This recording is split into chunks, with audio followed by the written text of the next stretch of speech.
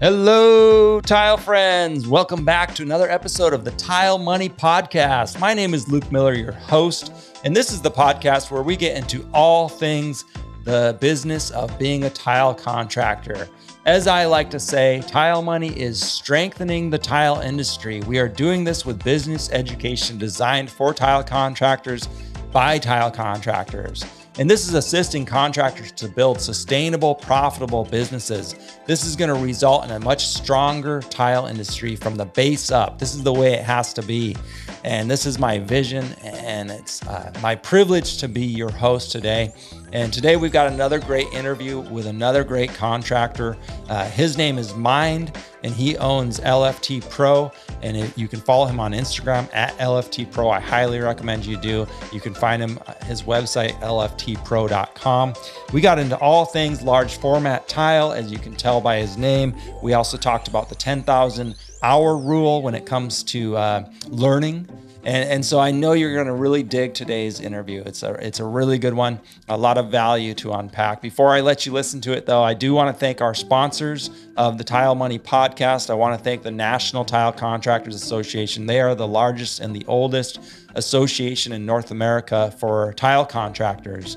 Uh, you know what I always say: if you want, you know, hang around the five people that you want to become, and you will find some of the best contractors eh, within the NTCA, and you will be able to rub shoulders with them and learn from them. So check them out: tile-assn.com, uh, the National Tile Contractors Association uh, the voice of the tile contractor. I want to thank GoBoard from Johns Manville for sponsoring the Tile Money podcast. GoBoard is a great company, uh, incredible uh, product. They, they, they really take a lot of time to get to know tile contractors, and that is why they're sponsoring this podcast. They do want to hear from you.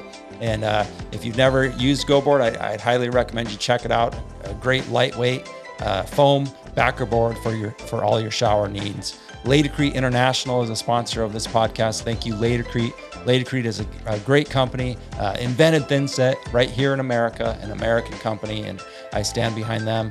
Uh, they have great family values, and if you've never tried their products, you should check those out for sure.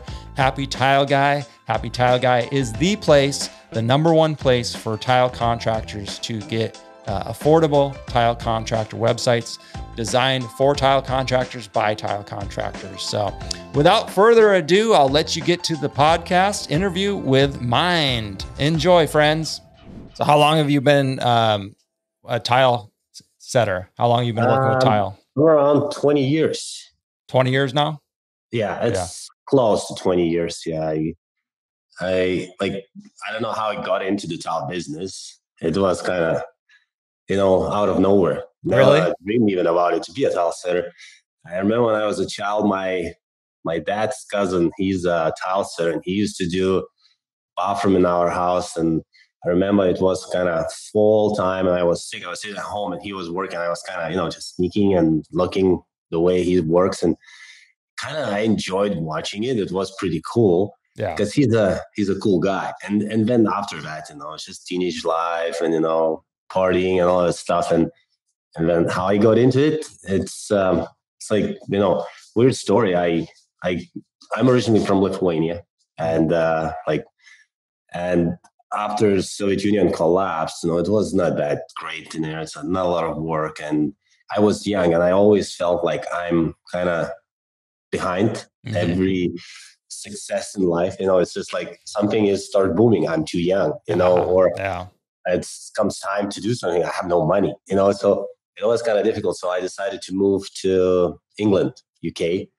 And um, I just worked as a general laborer at the construction site and I met tile sitters, Mm-hmm. And they said, uh, Do you want to be a helper for us? Because you know, I was busting my ass over there and working hard. And, you know, uh, my language, like English, was not that great at the time. And, you know, I always trying to talk more with people, you know, so I can learn.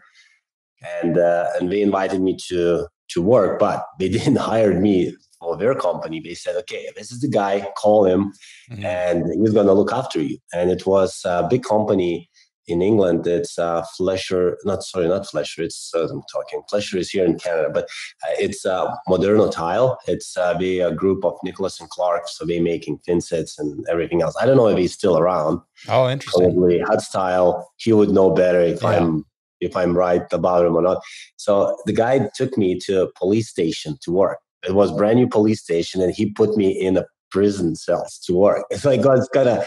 I never did uh, epoxy grout in my life and uh, and the police officers were checking like every hour on us, so we grout right, so it's no sharp edges in uh on the tile. Mm.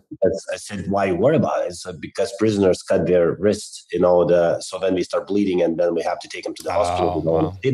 So just for the safety. So that's how I started. And like originally, like after one month working on that grout, uh, the guy who was in charge of me he said, Do you want to do tile? I said, Of course. He said, Okay, here's the tile. This is the fin set. That's how it's done. He just spread some mastic glue on the wall, slapped those six by sixes on the wall, and stayed. It's like, hmm, that looks easy. Right. I took my own, like, spread a mortar on the wall, put a tile on. One minute, boom, everything's down on the floor. I said, Why? I did exactly everything same as you are. And, uh, uh, you know, and he's like, You don't have confidence yet and you know in time everything came by and like after six months working like that those guys who in, like asked me if i want to do tile they took me in and literally i start tiling after one year myself mm. and uh, then after another year i opened my own company in england and they used to subcontracting me i had my own crew and since then i just doing tile I had a break in my life. Uh, actually, after 10 years, I said, no, I don't want to do it anymore. I can't you know, it was kind of, I'm done with it. And, uh, but you know, all that rule, 10,000 hours. When you do your 10,000 hours, right. everything changing. Like I never believed in that. Yeah. But actually it is true. It's like, you know, you just hit that 10,000 hours and next day you're a completely different person and you know what you're doing. You have a lot of confidence and boom, it's going. so, Interesting. Yeah. Yeah. Yeah, I've heard I've heard of this ten thousand hour, you know, uh, rule of thumb, so to speak. Can you elaborate on that a little bit more for for the audience who maybe isn't isn't familiar with it? Actually, I got that from my wife. Okay. Now it's like I never thought about that before, uh, you know. But then I start thinking, you know, when it's changed because she, she, my wife, has always reads a lot of books and she likes to read. I I might read it something, but I just don't have time. Right. I always have all those projects in my head. It's even like, you know, some, I hear it on your podcast, some other guys be, um, be like, oh, I already have everything laid out for my job for tomorrow in my head already. So that's, I'm the same person. I do my job day before in my head. So when I come to the job site, I know what I'm doing. And, you know, she mentioned that about, uh, athletes you know when athletes you know when they reach that 10,000 hour right. goal they becoming way better at what they do and the skill and that's what she was saying all the time for our kids you know guys it's, it doesn't come right away work work work and then you'll see. And it, it is true.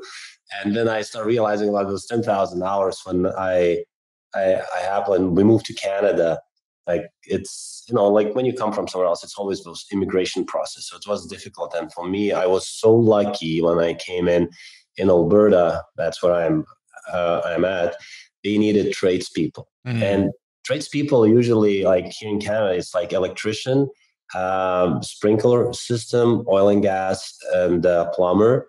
This is kind of certified trades you know license. Everybody else is no you know so it means like anyone can do that. And um, and you know and then we had entire list of the trades we needed because it was booming here. So the tile setter was on the list. So what i did i got my all hours what i worked in england um, from the company they sent a letter to me so i submitted to um, uh, to education board uh, so they approved it and they let me to do my journeyman's red seal exam. Mm. And uh, and then that's when I realized how many hours I have. When they sent it to me, it was nine thousand five hundred hours. That's what I needed.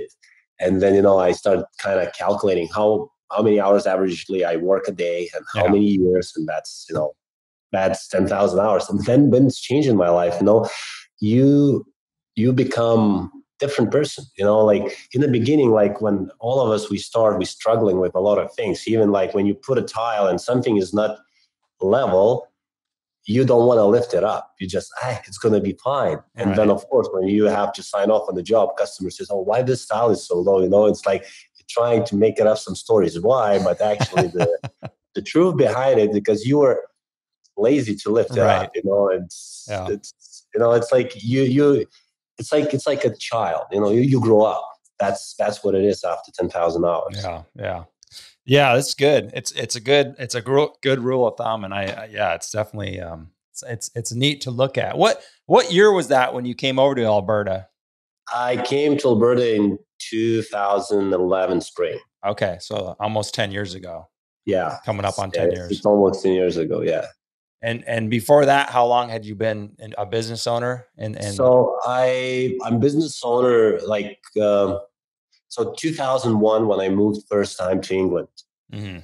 and uh, and then I became a business owner in 2003. okay, yeah, So you know it's like now LFT Professionals is my company. It's a new company. Uh, it's uh, six years for this company, and uh, I used it before my old name, but I felt like that name was not right.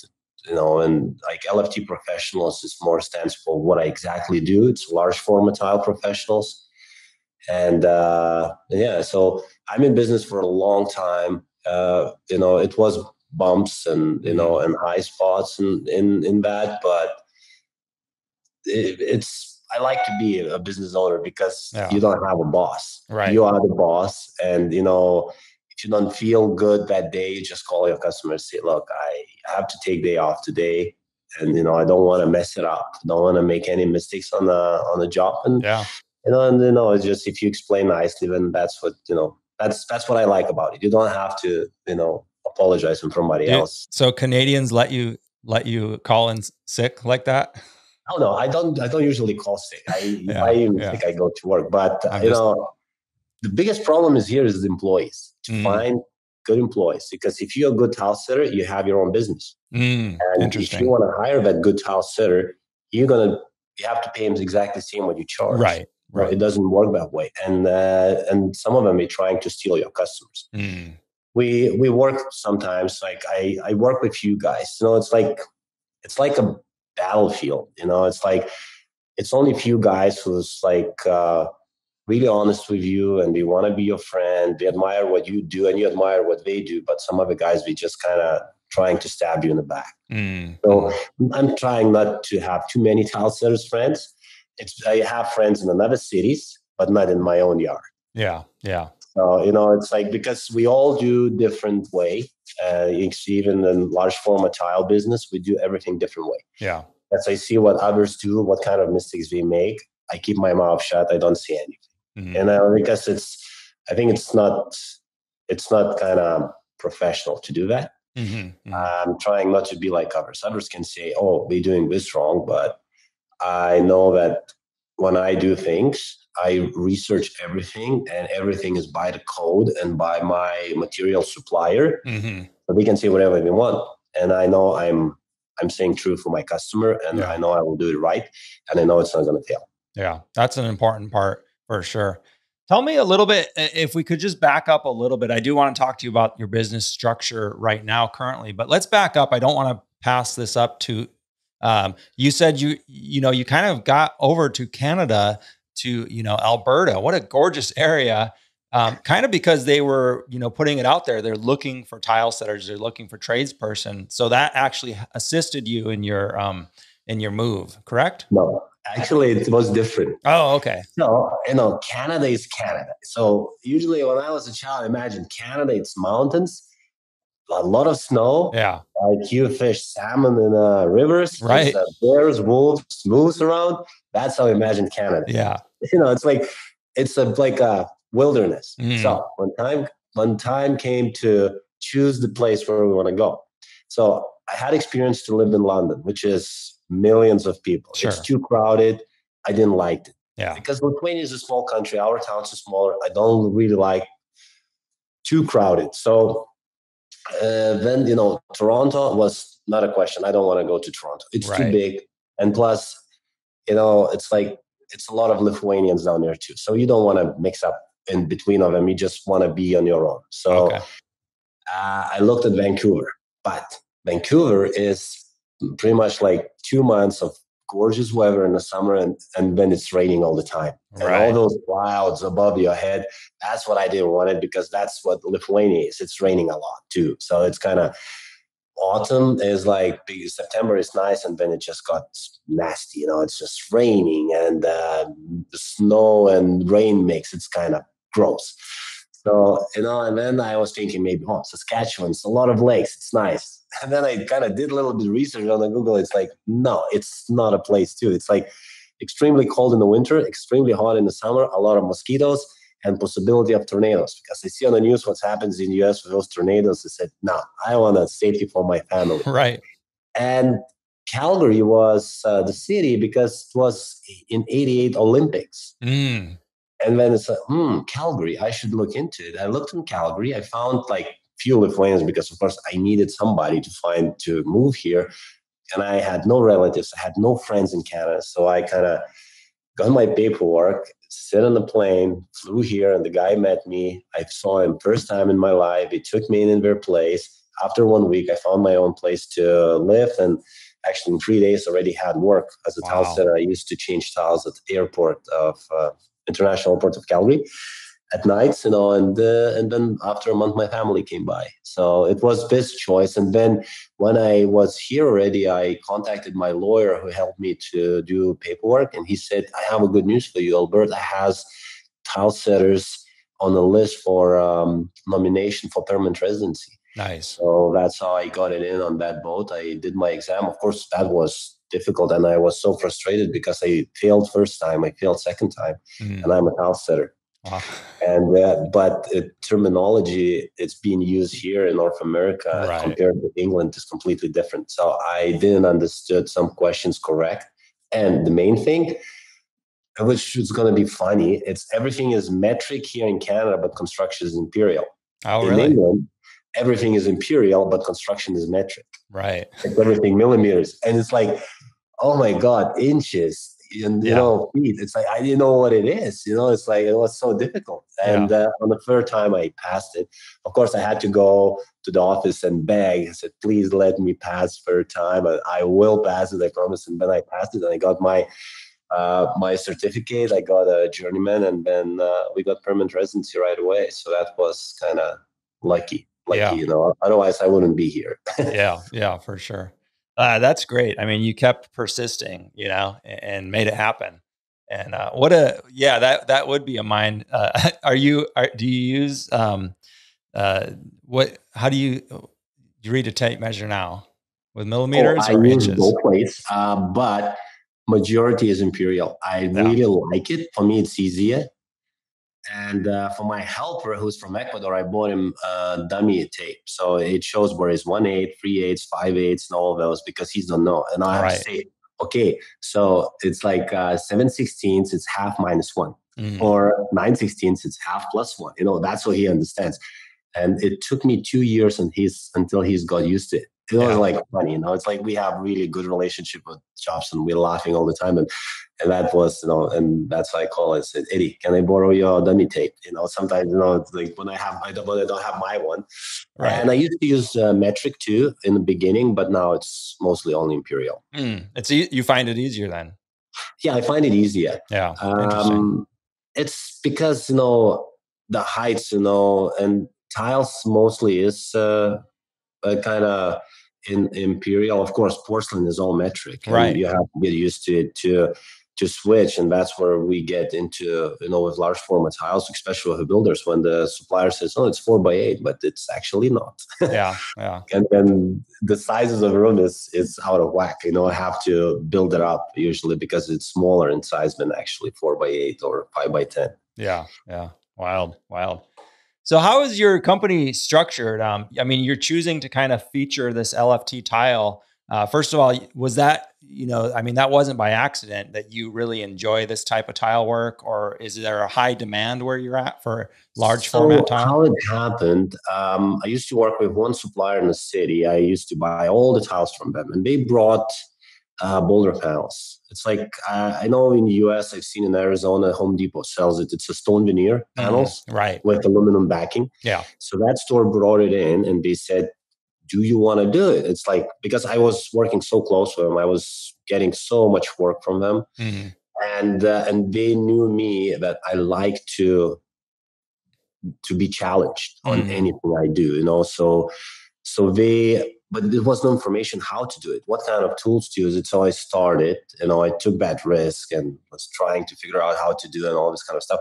And I had a few fails and I stopped doing it for a year. Mm-hmm. And I did very, very big research. And uh, in that time, porcelain tiles came came out. It uh, the first uh, tile, like large format tile job I did was Laminam, 3.5 millimeter tile, which is was crazy thin, mm-hmm. but I mm-hmm. was so surprised how strong it is. Right. If you know how to handle it, and usually handling those tiles is just, you know, it's just in your head. You know, you lift it up. It's not a sheet of plywood, first of all. You know, you can't lift it up like a plywood because right. wood doesn't break and tile will. So you lift an angle and you know, trying not to move, you know, too much. And of course, your helper who works with you has to be smart too, you know. so you lift up on the same side, you know, so it doesn't, mm-hmm. you don't feel that kind of break in the hat.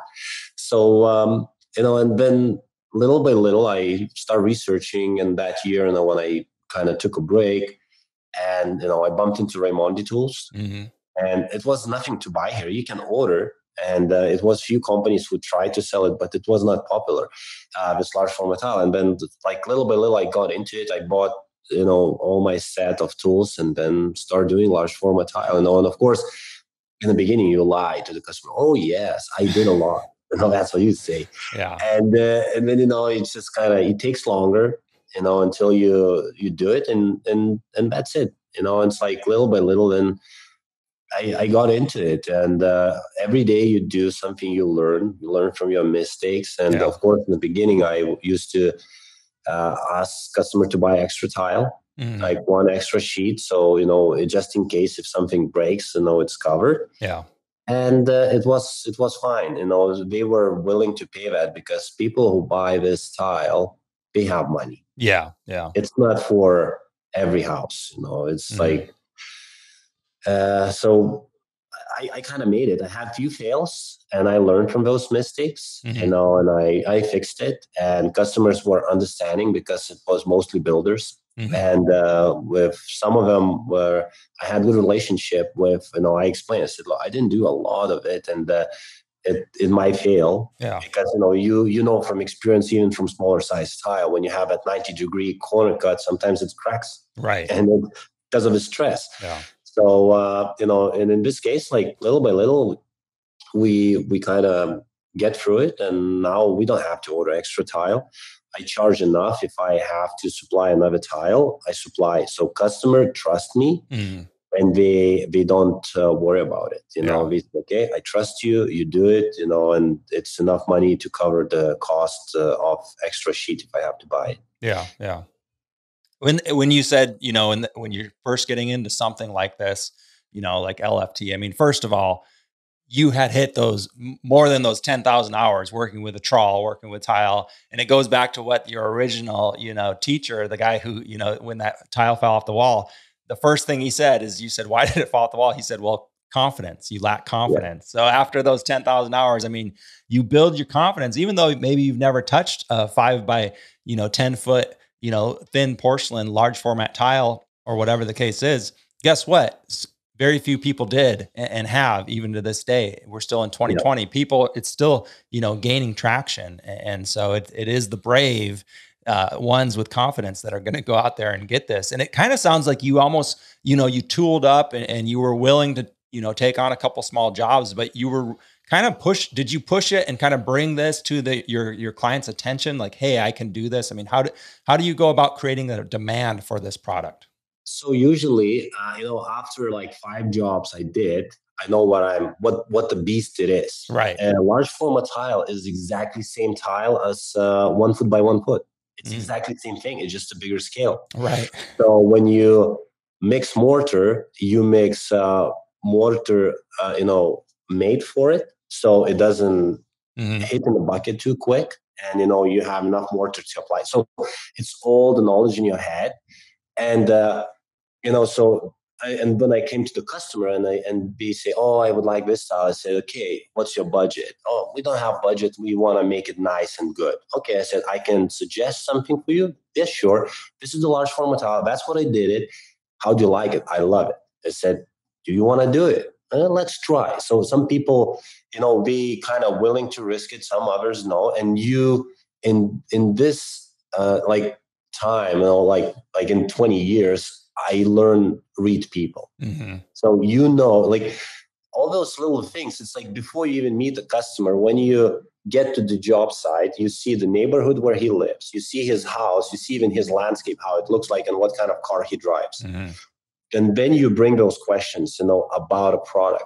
Sometimes I get a phone call and people say, "Oh, I want to do large format tile," and uh, you come to the place and all those little factors like car landscaping house neighborhood it doesn't doesn't match to the large format tile and you get inside and you see he wants to do only one bathroom in large format tile which is going to be wow but everything else in the house no and you start talking him down a bit it's mm. like it's not mm. worth it to spend this type of money if you don't your house doesn't match you're not committed you know yeah. it's like yeah let's do this it's going to be better because you just like sometimes some people just want to show off maybe mm-hmm. you know just, that's what i have but you know it's it doesn't make sense in in in general to do it you know and like Uh, or you give a suggestion something else yeah. you know it's like okay let's do this it's going to be better for this type of room because sometimes what it is it's like we have a big niche and you you can't just cut square niche in, in a big large format tile because it's going to break yeah the thing is i can cut it i can miter it on the table but how i'm going to lift it up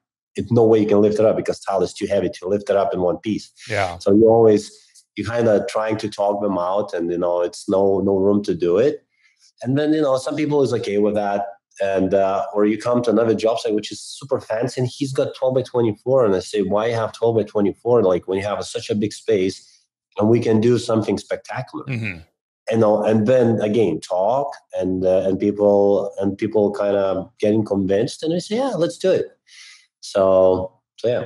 Yeah, yeah. So you're you're kind of, you know, you're you're getting paid. Your job as the business owner is is to direct these people. They don't know that much about tile. I mean, they might have seen a picture and they're like, "That's what I want."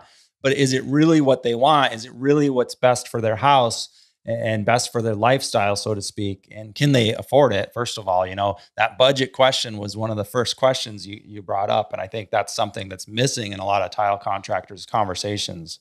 So it's good no, advice. another thing, let's say it's of course some people really want to have something like that. Sure. And and you see that, you know, he's really want it. So then you're trying to find a way, make it possible. I never trying to save money on prep work. Never. Right. Because uh, bad prep work is the recipe for fail. Yeah. It doesn't matter how beautiful your work is, it's gonna fail. So never save on that. So what I do uh, a lot of times, actually, I do. You know, I might would be richer if I wouldn't do that. I give discounts for the customer on a product because here in Canada, retail price is one thing, contractor price is another thing, and like in some stores, we get forty percent off. Oh wow! Which is a huge discount. Yeah. You know. Yeah.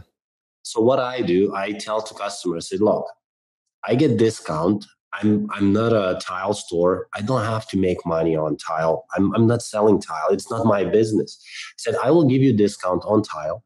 So this is my price for the labor, mm. and I have to charge you for deliver this product on site. Yeah. And then they feel that I want to be part of their project, and I understand where they are, and this way it helps me to close the deal with them because I'm honest. Yeah. And and I'm maybe other contractors gonna be you know mad at me I say that, but at the end of the day, it's it's not our business to sell tile. Our our business, tile setters, is to install tile. So better we do our work with a higher price, so we make money, and we leave that for the customer that extra because I understand store gives you forty percent off because you can give something to your customer. Mm-hmm. You know, because yeah. usually when customer come to the store and buy tile with that forty percent markup retail price they don't want to pay a lot of now for that contractor because they already spent fortune on time. Yeah, yeah. You know, it's like because average like bathroom renovation here costs like plumbing, demo, tile installation, it's about twenty thousand dollars. Mm-hmm. That's what it costs, like all in. Yeah. So, you know, if you can save for the customer something on tile, but you can make more installation, it's still going to be twenty thousand dollars. Right. Yeah. That maybe one thousand dollars extra is going to be back to your pocket.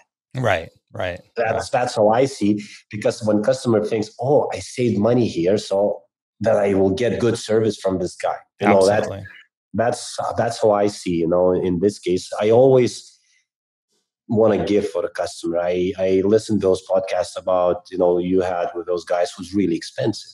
You know, like I can say I'm expensive too, Mm. and if customer like we have a lot of contractors who makes big bucks on the renovations and they so cheap. And I say to the guy, I said, look, if you can't afford me, why are you calling me? I know you know my work, you know I'm good, you know it's gonna be flawless. Yeah, but yeah. why are you calling me if you can't afford me? I said, This is my price. Because first of all, you called me Right. and you asking for my services. I didn't call you and I didn't ask for work Right. you know right. so and then we find a way you know of course a lot of negotiations happens in in the long run but that's what happens Yeah, yeah. No, it's good to acknowledge that negotiations do happen.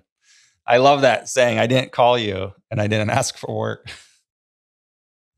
I love that because so many contractors, you know, they're they just want a deal, you know, and they're out shopping for new tile contractors, uh, for subcontractors, and, and you know they're looking to replace their old contractor for a reason, but they still Yeah. want the same deal. They still they think it should be the same price. It's just like I didn't call you. You called me looking for a new tile contractor, and these are my yeah prices. exactly exactly you know and it's like and we have a lot of like uh, a lot of bad contractors you Oh, know it's like like I see work and I get phone calls Mm. and uh, you know and we talk you know in between with some you know toutsers as I mentioned I have friends you Sure, know and yeah. we always see things you know like I have a friend it's uh Chris Surfaces on he's on Instagram too and he's from Edmonton Mm. and uh, we work together a lot. Like I, I think I started first large format tile, then he joined me. He helped me to do a few projects here in Calgary. Like we we good friends on Yeah. it, and I went down there to help him out. And he said, "I bid it. It's like normal price." And I said, "I was under like."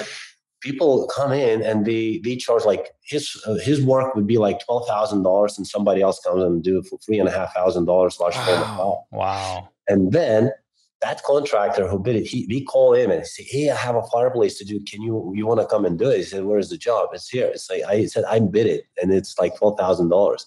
said, So you want to say we underbid it? I said, "Uh, yeah, I want to say you underbid it. Yeah. Because some people like they bid and they don't know how to do it. Uh, and that so they bid for right. Yeah. No. they just yeah. bid to get a job. Yeah. And, and that's yeah. what happens. And you know, it's it's like it's sometimes it's so sad when people does that, you know, and they don't even have ability to do the job. And a lot of granite companies trying to do that. And like I got a I closed the deal last week with one builder here in Calgary. He called me and said, Oh yeah, like our granite shop would do it and they would try to do the best, but they have to bring a tile to mix mortar for them. I said, it doesn't make sense. Yeah. You know, as a granite shop, how granite is installed, PL and silicone most of the time. They even don't know how to mix thinset. This is the most important thing on it. And I said, did they suggest you to put a cement board or DensShield or something on that plywood on the fireplace? No. I said, you can't install on the plywood. It's going to fall. Right. Yeah. It's not going to hold. It's just, it's all your miters going to crack and all this kind of stuff because wood is moving, especially here in Alberta. yeah. Winters is so dry Right. mountains, it's you see the gaps that separate on the hardwood because it's so dry, everything shrinks, and in summer everything expands because it's so humid. Yeah. it's like yeah. You got to have it's it a right. different different place in the of the world. You know, you can't do that. It's Yeah. just So what what percentage of your work is coming from general contractors or builders and what percentage directly to the you homeowner? know, it's like I would say 25, 25, 25, 25. Okay. And uh, even it's like even split. it's like I have builders I work with, Yeah. and I have builders I quote jobs for them, but I never get. But then they recommend me some for other builders. Yeah. which is fine with me. Sure. You know, it's like I know sometimes their budget doesn't allow to hire me. Yeah. You know, because they they bid to build a house way before Tilesters comes in and they have their Right. budget. And uh, what I do when I come to bid those jobs, I say, this is wrong, this is wrong, this is wrong. Why do you include this, this, this, and this? and then they kind of if they, you know if they're gonna hire me, they have to do all that stuff. So they to eliminate that problem, they so they eliminate me and they take somebody else who don't complain about those stuff, and then they do that job and you know still warranties and maybe they go and fix stuff after, and a lot of times it lasts until warranty lasts, and then after five years everything starts you yeah. know falling apart, but the yeah. owner then does the renovation. Yeah. That's how it works. So you know, and then I get um, I get some jobs through Instagram. Uh, I get some jobs from the past clients, like uh, you know, somebody hired me. Uh, let's say they saw my ad on house. they hire me, and uh, and then I do good, and then you recommend for somebody else for their friends. That's how it works. And uh, little bit website, you know, like I don't know, like Google for me didn't work yet. Like when I did my website, I didn't set up my SEO properly. I'm still working on it. I just have no time. Yeah. Instagram yeah. for me, it's the best website. I call it my website because you post your pictures and everything is there. That's it. Yeah. The website is always a lot of work. You have yeah. to, you know, write an article about it and, you know, adjust those pictures a little bit so it looks nice and presentable. On Instagram, you don't care. It's just, oh, it's a nice shot. Boom. That's yeah. it. And it's there and people just pressing hearts for you. You know, that's what I want. I want to be loved. Yeah, for sure. For sure. Who doesn't want to be loved? Well, let us know over at Happy Tile Guy if we can help you with your website. I know it's a pain to do it yourself, and um, yeah, we I can send you some info. And I was going to show you know share your Instagram page if if nobody if people listening are are not following you, you should really go check out its Instagram page. It is beautiful, and I I can tell though that you're you're taking some time when you're when you're taking these photos um, to get you know quality lighting just right and, and, things of that nature. I mean, it looks really good. Yeah. This is actually my own house. Oh, is this your those, house? Yeah, all those crazy things I can do only at home. That's what I was going to ask you about. Is this sink? Is is you know who who because because I I like the way you you know you talked about it. I, am not sure if you said it was was in your house, but you made it sound like you know it was yeah. a custom request, which obviously it was. That's true. Yeah. So how it happened? I came to a Porcelanosa store and they have a sink like this. Yeah. It's just a round bowl, not square. Mm-hmm. So I looked at it and I asked, I said, guys, can I get a deal? Because it's uh, six and a half thousand dollars that sink. Wow. I'm not going to pay for a piece of metal with a little bit of marble on it, six and a half thousand dollars because yeah. it's just crazy too much. So we went down to 4,700. I said, no, it's still too much. And I took pictures and I showed my friend, he's a blacksmith. Yeah. And I said, can you do it? He said, sure. I said, not a problem. Hmm. So we did out of aluminum. And, uh, and then I did in that same bathroom, I had this, uh, it's a Porcelanosa E-wood um, porcelain uh, slabs, which looks like, uh, like wood and the texture and everything. It's, it's just great stuff. Mm-hmm. And uh, so I had leftover and I did it, um, I did it, you know, on the sink. So it all matches with interior. Yeah what we have in it. So yeah, it's so, a yeah, it's and, a gorgeous um, thing. Have you sold any? Have you uh, have you sold any yet? Uh, you know, I was not thinking to sell it. Oh, really? Um, I did it for myself. If somebody who sees it wants it, I can make it. Sure. It's so pricey. I know why it cost six thousand dollars because for me, my blacksmith cost me two thousand dollars on that sink with powder coating, metal, and work. Yeah. And then I water jetted this tile and it's another hundred bucks mm-hmm. because I can't cut it this much. Like this particular uh, badge of this porcelain tile was just exploding when you're cutting it. So, uh, you know, I was kind of scared to cut it myself, so I took to waterjet. I mm-hmm. might can do it now on a new batch. I did one job recently. It's on Instagram where I have to cut doorways off uh, to get with those big slabs, and those that one I can cut. I feel confident on that one. But right, but yeah. So that's that's what I that's what I'm talking about. Challenge. That's what I like. It's challenge. Yeah. you know, the final result is like I, I, love it. Yeah, yeah. No, you have some challenging jobs on this um, on your Instagram page. If you guys aren't following him at LFT Pro on Instagram, um, make sure to follow mine. This this fireplace was a trip. I was looking at this fireplace, and the reflection was just as great as the TV. But then this oh, this yeah, shower is yeah. just gorgeous. Yes, actually, with the same tile, I did even exterior. Um, I had to remove exterior pictures from because customer kind of was complaining. He let me in the beginning, and then he said, "No, can you please take it off? I don't want to show my location." Oh. I did in the same tile, two thousand square feet on exterior wall. So wow. it's all book matched, and uh, it was challenging because uh, here is you know the weather. Like we have Chinook, which is I don't know, you familiar with Chinook wind?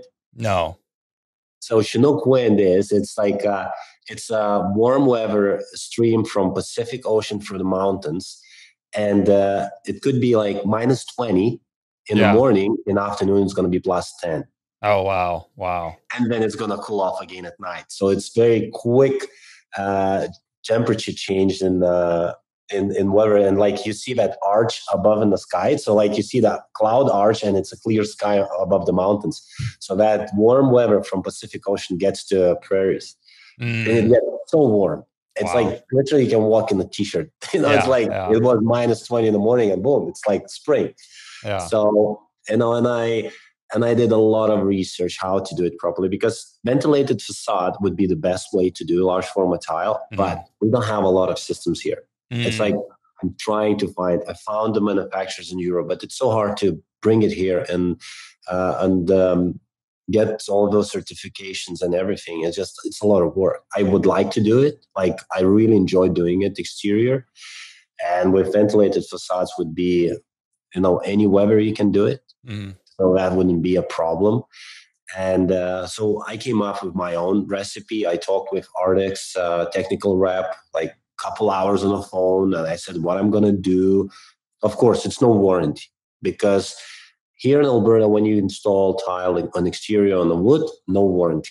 Mm-hmm. So even like I don't install directly on the wood, so we applied we primed the plywood on the walls like OSB. Then we apply thinset. We put cement board. We put uh, screws with washers. Then we waterproof three coats of eight plus nine over top the surface. This is my house too. Oh, this is your house too. So you yeah. clad you you clad yeah, your I put porcelain on it, so it looks like a glass, and people say, "Oh, can I touch it?" it's like it's changed now. I build a porcelain. It's like it was my summer project in the free time. So yeah, this job came out amazing. Um, just yeah, beautiful. It's like, you know, I, I'm really happy with it, to how it's turned out. It's like, and I want to showcase more because people be afraid to use, you know, tile on exterior. But, and, and what I say, if it's done right, it's never going to fail. Right. You know, if you're gonna save money on this kind of things, it's just of course it's not gonna last. You know, if people just gonna you know, dots on the back and just slap it right. moisture and everything gets behind it, of course it's gonna fall. Yeah. The, the freeze and thaw cycle does all of it. Yeah. You know, for, you know. Right. So yeah, if it's installed right, it's it's good. And of course, good thinset. You yeah. know, good thinset is the, the key of every any installation on exterior. Yeah. Yeah yeah, good thinset, good coverage, you know, all those good things. 100%. I, I, 100%. Yeah. and like, you put it on your house. So, you know, that shows your confidence. I mean, you're going to find out, you know, but it, it, it will last. I mean, it, you're, you're 100% right. You know, it's all, it's all in the prep work. Yeah. When you, when you got all those corners, like 90 degrees corners, split a tile. Yeah. Don't make uh, out of yourself a hero. You know, I can right. this, you know, corner, it's going to crack. It's, yeah. it's like, yeah it's gonna crack. You know, interior is different thing. You can, you know, you can make it, but you still you have to round that kind of tiny corner. You have to round it so you take the stress off. Yeah, yeah, absolutely. So, you know, it's better tell customer in advance what yeah. problems could be, and then say I will split it. You're not gonna see that grout line because everything's gonna match and run nice and straight. And you'll be happy. So that's what that's what happens. Yeah, yeah. So it's it's good though that Instagram's working out good for you. That you're you're getting quite a few leads for new work, new contracts. I don't have too many followers. I'd like to have more. Yeah, but, yeah. You know, well, you're up, yeah. I mean, above three thousand. Yeah. And then do you send people there too? To you know, it's it's nice because you can just send people. Oh, follow me on Instagram. I mean, everybody's on yeah, Instagram. You know, so. even like people maybe they don't follow, but I say you can see my work on Instagram mm-hmm. because it's the easiest platform because everybody today is on Instagram. Right and they can see it. Of yeah. course, I, I mean another thing. I will show quickly if it's going to be visible. This is the yeah, like a catalog. It's ten. Oh, it's just yeah, because everything is opposite. So what I did is all my works in a book. Yeah, you know? I bring that book with me to the customer, and while we talk, we can just see my work in it. Yeah, and it's and uh, the app. Like actually, I found this app on uh, Instagram. It's a Chatbooks. Mm-hmm. It's not expensive. Yeah. It's made in US and they did it so quick. Like uh, I put all the pictures in. If you want to put a comments on it, you can put a comments and be printed in. And I got it in two weeks. Wow. yeah. quick shipping. And it's like in US, it's even faster. Yeah. Yeah. Yeah. It's, it's I, I like know, the book idea. I like it a lot. I've actually heard about, you know, using this book when you sell, like you bring it to your job. Some contractors will actually put the price, like, you know, the price of maybe a, a really nice shower, a really expensive shower, and then maybe a moderate shower. And then maybe like, this is your basic shower. This is what this much money gets you. And then, you know, you tease them a little bit. Know, I don't do that. No. I tell you why. It's like when you put a price, you can scare a person right away. Yeah. Okay. You know, what I say every project is unique mm. and special. Yeah. And I say your project is special and it's gonna be like I say what it how it's gonna look like. And you can't put a same price tag on a, exactly the same one because sometimes you run into the problem and they're gonna say, "Oh, but that one it looks exactly the same, but right. my one is more money." That's right. Why. Right. I work with one company. They used to advertise in a in a magazine uh, like in the newspaper, it's like a basic, medium, and luxury. Right. And with those prices. And of course, they were getting a lot of work. Yeah. But the materials we supply, it's so cheap. You know, it's one thing in the newspaper and another thing in reality. Right. I, just, I did a few options for them and said, no, thank you. I don't want to do Kind of like the picture of a McDonald's cheeseburger. yeah. one thing in the picture. A complete another thing in reality. Yeah. Yeah. yeah. Exactly. Yeah. You know, yeah. All those commercials, food, you know, Wendy's, A&W, McDonald's, those burgers are so juicy and nice, but when you get it, it's so tiny and dry. Yeah. yeah. So how do how do you convey the value to your customer though? A lot of tile contractors really do struggle with this. Is saying, look, I, you know, I am going to get you to where you want. I, I am going to do the, the most beautiful bathroom for you. I am going to get you your every desire here. It's hard to convey that. And, and we're talking about a couple different things here. We're talking about, you know, pictures, some sales tactics, maybe not, not such great sales tactics that people like McDonald's use and some companies, some tile companies. Um, and everybody has to choose for themselves. But if you're going to be the artisan, you know, craftsman with a, with an apprentice, how do you sell yourself sell your value so that you you can command um, a good a good amount what what kind of so help my my key is when i come and talk with a customer first thing sometimes you have that zing you know with a customer like you kind of relate yeah you have to be likable mm-hmm. you know it's like you have to be nice polite you know you have to respect their property you know when you come to talk with them and uh, you you cannot you know show out of yourself like oh I'm God. You know, no, it's like you at, at that point he's your future boss because he's going to be paying your wages. You know, mm-hmm. so you have to be nice, and you have to become a friend in the first place. And then you talk. You, you talk not only about a tile. You have to talk about what happens. You know around you, you know, in the world, like how we cope with at this point with COVID nineteen, how right. we feel about it. But you have those kind of questions, so you don't say something against it, like probably like in US for you guys, like if you talk about a president, you can get kicked out of the house very quick. Right. So you have right. to be careful in this place. And in this position, you have to be like a weasel. Mm. You have to, you know, change it to the subject what they like. It doesn't yeah. nobody cares what you like right. or not. You can bring your opinion to them that's solid. So that's all you do. And when you talk with them, you know, and uh and you always listen what your customers say you mm-hmm. know, he, like I, I, know some other guys what they do when they come to the job site and stuff. Five bathrooms, so what, whatever he sees is just a dollar. So right. his, his, his eyes, I will make money, but you don't know what the budget is. Nothing. So it's always like you know you have to learn about your customer while you're talking, mm-hmm. and then give them suggestions yeah. because most of the time people they don't know what they want mm-hmm. unless they have a designer when they have a designer, they don't care because designer service costs a lot of money. Right. So, you know, then you deal with designer. You talk with designer. And in this case, when you talk with designer, you don't bring anything up, but you don't they don't care about your idea because like originally I finished art school and I became interior designer. This is my trade. Oh really? But I never been one. Oh. Because like you know, I, I, I love to draw when I was a kid. Yeah. And I got in art school and I became a designer and florist. Mm-hmm. But it's nothing related to what I do now. Right. But it helped me because I have a good like visualization in right. my head. I can see every project I do. I can walk into that bathroom. I can see how it's going to look like. And, you know, so with a designer, I can't do that mm-hmm. because designer, he knows what he's doing. Even if you know he's don't know, but you have to agree with that. And sure. okay, it's just people hired him. That's what we're gonna do. Because I got one lesson in my in my experience. I started working with one guy just right when I came to Canada.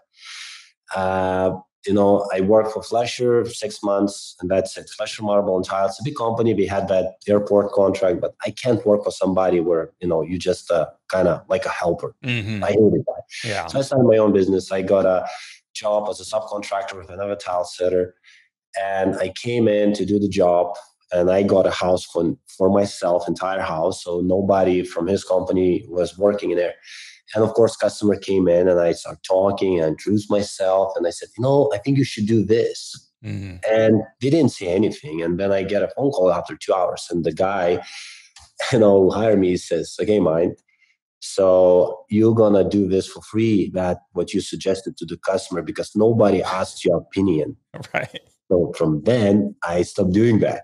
Because you know, if they settle on something, they quoted the job and this is extra. Nobody right. wants to pay extra. Right. You know, customer, of course, would be happy if I will do it. And then I did it because I'm a man of my word. I said it's going to look better. I did it and everybody was happy at the end, but I didn't get paid for it. But who cares? Right. It was my fault. And, uh, and, you know, and, and, and that's, that, that's another thing, what it is, you know, so, so it's all these things, lessons and uh, mistakes, and that's what keeps us going. Yeah, yeah, for sure. Yeah, we got to learn. So you yeah. you do work with designers today, right? Uh, I do. From time I to time. Is that tough? Is that tough? Favorite ones. Yeah. And I have designers I don't like, but I work. Yeah, you keep working with them. Is that is that? I mean, is that tough for you, especially with that background and and your skill? You know, um, I mean, that's got to be tough at times to you know bite your bite your tongue, so to speak. Uh, it is, you know, because a lot of times you have real designers and you have a housewife designers, you know, right. rich husband, and she she decides to become a designer. Right, right. So you know, it's like, but some of them is great. Yeah, yeah. like it's be down to earth, and you know, you can talk and you know make jokes, and you know everything works out good. And some of them we don't know a lot about a large format tile, and you and you explain the sequence of everything what has to be done and they say yeah i can see now and and they they go with it and okay. other designers i have they just love large format tile and they want to do large format tile and some other designers they say oh i have bad experience with it i don't want to even see it on my jobs mm. you know so that's what i said you know some customers you know like, like you have to be like a weasel you know you you kind of becoming more like him, the, whatever they like, and you just agree with it. So if you want to close the job, or sometimes you come in and it doesn't make sense why you want to do it, so you just jack your price up, and you hoping you're not going to get a job. Right. Right. It's it's same with designers, but you know what? Where designers is involved is always good money. Mm-hmm. Yeah, that's what I found as well. It's it's worth the money to uh, you know to basically just do you know shut up and do what they want you to do and just yeah, charge enough. You do, your, you do your thing. If something doesn't like customer on the details, it's not your fault. Right. Yeah. It's a beautiful thing. Yeah. Talk with your designer. I, I did it when he asked me to do it. Yeah. And yeah. then the designer comes and can you change it? Can you do differently? How are you going to do it? I say this, this, this, and this, and it's going to be extra money. And we say, okay, let's do it. And I get paid. so nice. That's great, man. I love it. It's a good attitude. So what are the biggest struggles that you're you're having with your company right now? Anything particular? Employees. It's the biggest one is employees. I know it's like I remember I was listening Hut Style podcast uh, with Ken, and what that's what he says. Kids don't want to do it, mm. and this is true. You know, it's like I think when we'll be seventy, we're still going to be tiling. what? Know, yeah, that's that's the problem. Tile will never go away. Right, and you know, it's Hopefully. like we got those, you know, plastic coverings, you know, in the showers but it's not the solution. It needs to be replaced all the time. And and and I'd, I'd like more young kids to get into it, but everybody wants big buck right away, mm. and it's it's tough. So I had so many times in my career opportunity to grow, yeah, but you just kind of trying to grow. You hire a few new guys, and then you see the useless. You're letting them go, and then you that's it. You you get to the point zero again, and then you kind of pull the handbrake and you slow down, and then you you go steady. Yeah. At this point, like I'd like to grow my company big. You know, I like as every tile setter dreams not to tile but be in this business Mm-hmm. because that's what we know what we like. That's what we do for the living, and we understand it. Probably like first to me, I like to talk. I'd like to go and talk with customers better than be on tools all the time. Right. But at the end of the day, it's impossible, and uh, and I have to do it. You know, and it's like it's that's that's the hardest thing. Yeah. I I have enough work. You know, I'm not like other guys, you know, booked until end of the next year. I can be if I want to, but what's the point? Mhm. You know, to have a job next year summer, but you know, maybe a meteor gonna fall on Earth and it's gone. So I don't, I don't plan that far. Yeah. I know I'm busy until Christmas, and I have plenty of work. I have a lot of loose ends to finish and other jobs because uh, delays and you know and things not ready, and then you know you kind of like too much in one file, and then you're just trying to finish those jobs, Yeah. and also it's kind of a little bit stressful. But and then you know you just kind of take a deep breath and say, ah, I will be done when I will have time. You know, I do call customers say, look, I can't this time. I will come back, and it's like it's just the little things. And, you know that those things happens. It's like nobody's perfect. You Yeah. know, it's like it's no perfect company. Even probably in the US and here, you know, you always have something uh, happening Yeah. and uh, and you know it's like and next year I have a big job like going to another province to do for another guy and it's like it's a big large format tile job and it just like I'm I'm I'm scared of it because my helper who works with me be expecting baby soon so he's gonna take off I'm Mm. gonna be on my own you know I had Right. another guy he said like oh dust is not good for me so he quit working you know and like Right. spent entire year investing in him and training him Right. and then he decides not to work in construction anymore. It's like that's what it is. Yeah. Yeah. And you know, like I'm I was thinking maybe to team up with somebody, you know, another tile setter and just Yeah. but then how are you gonna split profits and everything else? Always somebody's not gonna be happy. So he's gonna say, Oh, I did harder work and I, I did this, I did that, and it's just it's Yeah. it, it is hard. It's like it as long as it pays my bills, I can make money, I can support my helper, and that's what I care at this point. Mhm. Yeah. And we'll see, you know, when all this pandemic's gonna change, what's gonna change, you know? And it's like at this point, we just adapted to what it is, and Right. Yeah. you know, trying to save to stay safe, and you know, and that's it. Yeah. That's about all we can do right now is ride it out. Right. Yeah, I did. I did interview um, Ant Primo. I know you Yeah. probably follow Ant Primo on Instagram, uh, at Primo Tiles, I think it is. And um, he he has a partner. That, that might be an interesting one. And I, I'm not sure if that podcast came out yet. Maybe next week or the week after. But uh, he has a partner, and what he did is he found somebody that had you know a, a little bit different strengths than he did. In other words, he really wanted to focus on the business and growing it, and and the the partner had um, maybe some more. You know, he he really enjoyed being in the field and doing commercial work and stuff like this. So, you know, that's that. That I mean, that would be my advice. You know, for anybody looking for maybe a partner, because I've I've had those same thoughts. Like, oh, do you partner up with somebody? But then where are the profits? You know. And like Yeah. like you mentioned, you know, if if they're worth their money, they're worth their money, and and so you have to pay them. Um, but if you can find somebody that kind of excels where you um, kind of fall short, that that would be the best fit for partners. That's all I'll say about that. but that's a tricky situation, this is very tricky situation. It's like Yeah. marriage, you right? know? Right?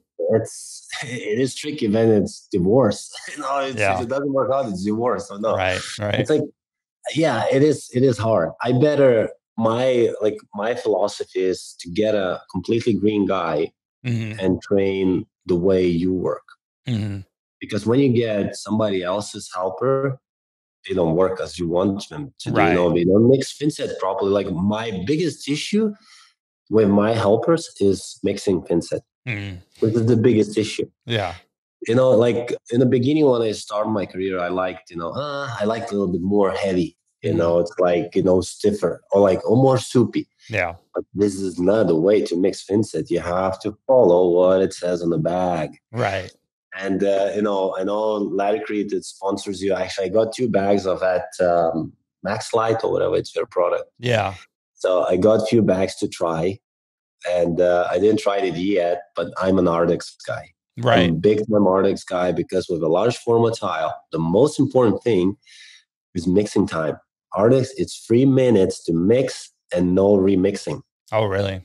Yeah. So that's and, and, it's so important. I did last year massive job. It's uh, three and a half thousand square feet of large format tile floor. It's a wow. large format. It's four feet by four feet, thin mm-hmm. panel. Yeah. Through entire house, and we did with Schluter ALL-SET to mix one bag. It's twenty minutes, mm. which is a lot of time. Yeah. A day we have ten hours. so you mixing, you know, yeah, it's like 200 minutes. It's three hours. It's just a mixing of Thinset. Right, right, right. So, and the Ardex, it's only three minutes. So it's way more Thinset we can mix. You know, it's always you wait for that. And it is great Thinset, but it's just not for the big jobs and not large format tile. Because large format tile, you're applying mortar on the back of a tile and you're applying mortar on the floor. Yeah. And you don't want to skim coat because otherwise it's not going to bond. So yeah, yeah. that's that's things, you know that's why I'm angry at my helpers when they don't mix properly. I hear drill, you know, screaming. So I set a time and it comes with a bucket to say, go back. Why? It's only two and a half minutes. you go back with that bucket and remixing. So, well, you think so they'd learn that lesson pretty quick. Oh, yeah. They learned, and actually, it took a month. Yeah. They learned. Yeah. yeah. And now so you all the time is the same Thinset. Right. Yeah. Yeah. That's what you need. It's consistency, right? Yeah. yeah. Or you know what? I did few times when they mix and it's really stiff. So I don't send them to remix and I say, okay, spread on the floor. Mm. You know, when you get that big pile, you have to apply a lot of force to spread it out. I said, how does it feel? It is hard. I said, yeah. So scrape it off, go mix new one. right. Yeah. You know, Spend some like, time yeah, with them. Uh, be learning hard way. Yeah. Yeah. Well, listen, Mind, I really appreciate this interview. I mean, uh, we talked about a lot of good stuff, you know, getting to know people, uh, selling, you know, people buy from people. And you, and you really expressed that well when you said, well, look, we just get to know each other. We, you know, we try to be a, you know, I, I look for things that I connect with people, right? You know, I looked, I look at the, the house they're living in and, and their lifestyle to see if we're maybe a good fit, you know, that tips you off. And, um, so so much other good stuff in there too. I know people are gonna really enjoy this. Mind, appreciate it. Thank you. Yeah. Thank you for having me. You know, I was really nervous in the beginning. uh, like on TV, you know, it's yeah. like on TV. You know, everybody's watching you. Yeah, it's uh, it's it's very exciting. It's really like I really appreciate having me here. You know, it's like you know, it's like I, you know, if you have any questions in the future, want me to have it, yeah, you're welcome all the time. You know, it's like and another thing, what I want to do, I want to train a little bit people on a large format tile. Yeah. Because we have a lot of hacks around who don't know what we're doing. They're right. cutting those large formats with a grinder and we don't want to invest in tools. So it's it's no way. Right. You know. Oh yeah, that's miserable. My goodness. Yeah. I'm I'm fighting for the tile, for the large format tile, because I had a lot of times when contractor gets in, he does it wrong and the builder don't want to use it anymore. Right. But that builder builds luxury homes and they could use in every single one. Yeah. So that, you know, I'm kind of ambassador for the large format tile. Well, that's what we need. I mean, this is the danger of these products. I mean, even, even, you know, one foot by one foot tiles, you know, the danger is, is that there's too many failures out there. And in the yeah. US, it sounds like in Canada too, where you're at all over the world, we're seeing people just install tile um, incorrectly. And obviously, this has been going on for years. But the danger is when you said earlier in, in the podcast, you said like tile will be here forever. And I kind of, you know, I was kind of like, well, hopefully, you know, because the truth of the matter is, is people always want quicker, cheaper, faster. And then in, in a lot of cases, it's not about the money. It's just, well, we want reliability. And so yeah. when a company comes in and says, well, our plastic is reliable and, and it only takes an hour, but, but it does cost. I mean, sometimes these companies are charging quite a bit for plastic yeah. tub bathtubs and showers. Um, and so we do want to, you know, like you say, be the ambassador for LFT or mosaics or whatever type of tile you're working in, because it is a trade that um, that we need. And I, I think that is the key too to our um, our employees. You know, yeah. lack of employees is really, you know, setting that standard a little higher, you know, showcasing it. That's why I really enjoy Instagram seeing, you know, guys like you who are putting out this quality work and also your personality you know you're you're letting your personality shine through on you know some of your posts you know very personal um, life stuff you know like your motorcycles and and, and so your clients find you the youth find you and they say hey i can i i I can connect with Mind. You know, I, I kind of feel, you know, I, I dig motorcycles too. Yeah. Maybe I should call up Mind and, you know, see if he has an opportunity for me or if they've been following you for a while and you put an opportunity out there for them. I mean, I think this is the yeah. way, this is the only way to the future. You know, we, we just have to try to connect with people. I mean, people buy from people, people want to work with people and get to know you. So it's a great thing. Yeah and I get a lot actually inquiries like just to other guys from from US from mm-hmm. Australia asking about how to do, you know, large format. I always re- reply, always letting them know about the tools, and you know, I always give my opinion. So if anyone have any questions, yeah, you can always shoot me text message, you know, on uh, Instagram. I will always reply. Yeah, you know, it's like we all together in this mud, so we should be muddy friends. You That's know, it. it's like you know, it's that's our life. You know, we should help each other. You know, and anything we do. You know, if you and sometimes if you see something is wrong, just you know, you need another secondary opinion. Always, you know, even even a home like a customer or a home builder, if you see your house does something wrong, ask. It just always ask. Right. Yeah. Yeah. It so doesn't cost anything to ask. Right. Yeah. Yeah. Well, I appreciate appreciate you being on the podcast, Mind. Thank you, Luke. All right. Well, you have a great day. Oh, yeah. You too. Bye. All right, tile friends. I know you enjoyed that episode. I know I sure did myself. Uh, I, I want to remind you if, if, you need a website, head over to happytileguy.com and you can get started with a Happy Tile Guy website uh, created for tile contractors by tile contractors. All right, that's it for this week. Remember, stay profitable out there, tile friends. Talk to you next week.